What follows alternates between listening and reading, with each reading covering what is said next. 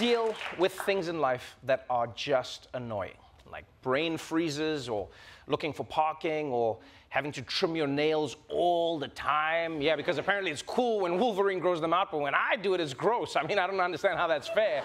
but nothing is worse than when little annoyances also cost you money, which means few things in life are more annoying than overdraft fees. You know, and we've all dealt with this shit before you accidentally spend more than you have in your bank account. So now the bank is charging you even more money that you don't have. Even if you go over by like a couple of dollars, your bank might hit you with a $35 fee, which makes no sense. Bitch, if I had the $35, I wouldn't be overdrafting, would I?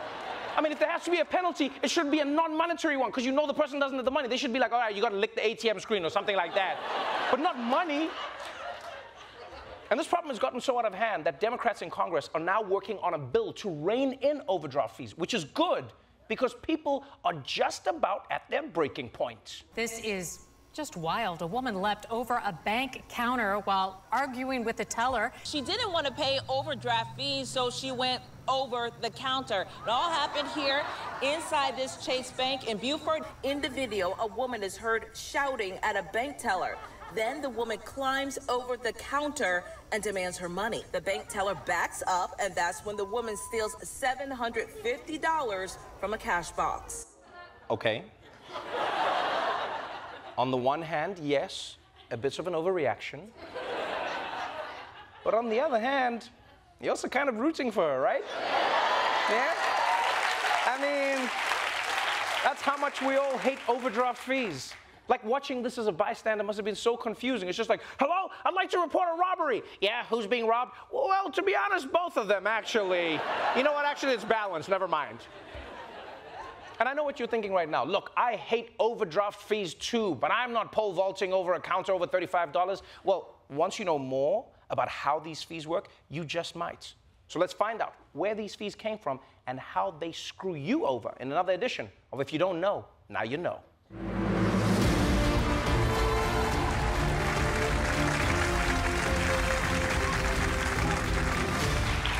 So let's start at the beginning.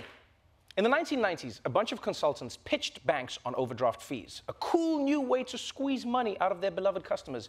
And as evil as it is, you've got to hand it to them. It's definitely creative.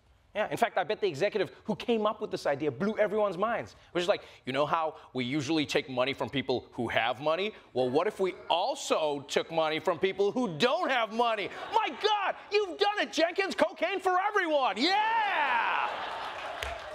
But when they came up with this idea, they didn't call them overdraft fees. No.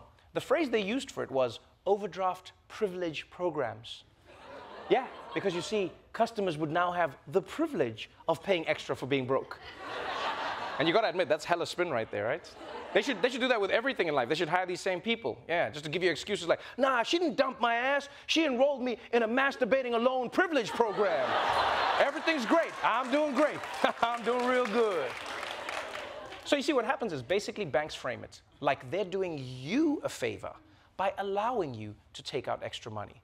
In fact, just listen to what one woman says she was told by her bank after she got hit with these overdraft fees again and again without realizing it.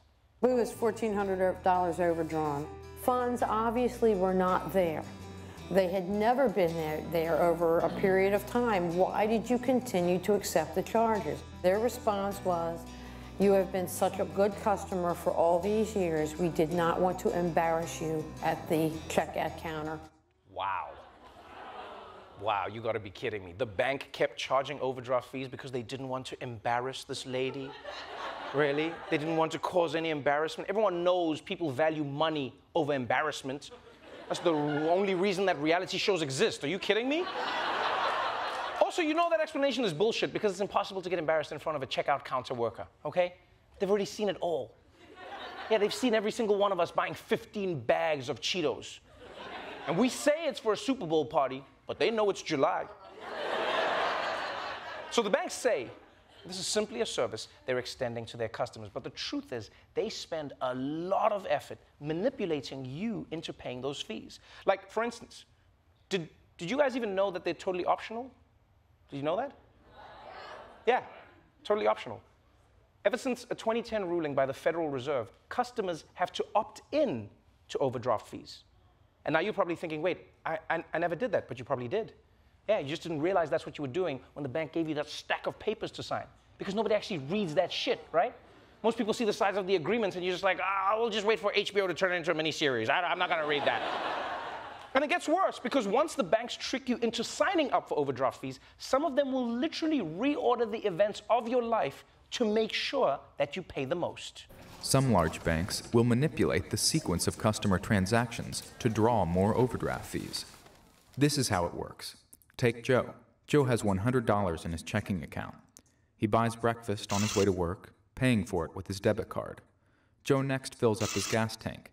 Later, he buys lunch, and then an afternoon cup of coffee.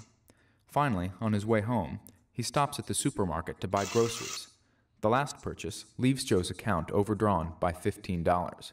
But rather than charge him one overdraft fee, his bank rearranges his purchases from highest to lowest and charges him three overdraft fees. By clearing the highest purchases first, banks are able to get to the overdraft quicker, thereby maximizing profits. God damn, that is evil. It's bad enough that these billion dollar corporations are charging poor people overdraft fees, but to make it worse, they're manipulating the numbers so they can charge even more.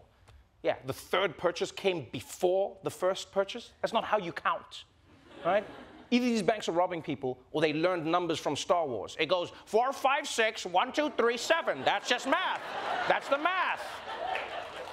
And this is another example of how corporations can commit crimes that none of us can, right? Because this, this, is, this is theft, but they'll be like, oh, no, it's, it's just the way. No, it's theft. No individual can get away with rearranging the sequence of time. You tried this. Every single one of you in this room. You it. You try it at home. Yeah. Try stealing something from the store, and then when they catch you, be like, no, no, no. I know I took it today, but I already paid for it next week. now, if you'll excuse me. but like most evil plans, there's big money in what the banks are doing. In fact, they collected more than $8 billion in overdraft fees last year, just overdraft fees. Yeah, one bank made so much money off of overdraft fees, the CEO actually named his boat the Overdraft. Yeah, and that's rubbing it in. That's like if Elvis had a boat called Black People's Music. I mean, I get that's how you got rich, but maybe don't advertise it. Imagine that on your boat. It's like shit, like where's the Somali pirate when you need one, you know? Just for him to be like, look at me, look at me, huh? This is a bad name for a boat, huh? Look at me. now, the good news is some banks seem to be getting the message that customers and Congress are fed up with these fees. Bank of America and TD Bank are settling major lawsuits, while some banks have started ending their overdraft programs voluntarily, which is good. But until Congress passes this law protecting customers from the most egregious overdraft policies, we figured that there was an opening in the market for a bank you can really trust. Sick of overdraft fees that drag you into debt? Wish there was a bank that treated you like an adult? Well, now there is. Nope, you're broke. Introducing Broke Bank. At Broke Bank, we're not going to let you think you have money and then surprise you with an overdraft fee. When you're broke, we'll let you know. $7 for coffee? Just get a tap water. Is it embarrassing? A little. Insulting? Definitely. But we're committed to honesty. Like, really committed. Come on, we both know you didn't win the lottery. Just walk away. What's in your wallet? Nothing. Are you riding a jet ski, mother? You only got $12 and you need that for a shirt.